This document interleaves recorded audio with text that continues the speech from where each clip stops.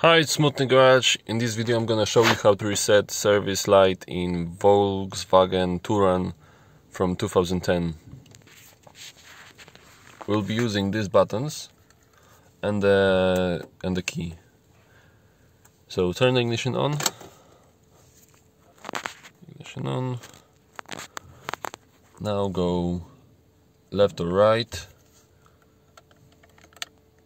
to settings go down.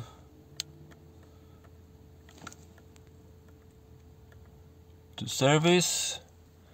Press OK. Go down to reset. Press OK.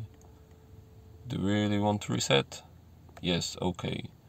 Service reset. It's all done. Thanks for watching. Make sure to subscribe. Thank you. Bye